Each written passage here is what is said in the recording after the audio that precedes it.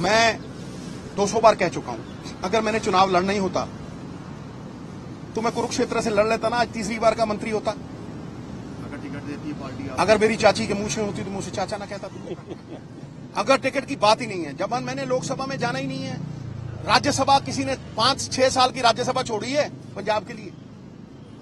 छोड़ी है किसी ने मंत्रालय छोड़े हैं। कोई ऐसा बंदा हो जिसने मनमोहन सिंह जी की वेव में तीन इलेक्शन जीते। और जब मोदी साहब की वेवाई गधे जीत गए, तब उसने कहा, मैं एमपी नहीं लड़ूँगा। तो तुम कैसे मुझे कहोगे?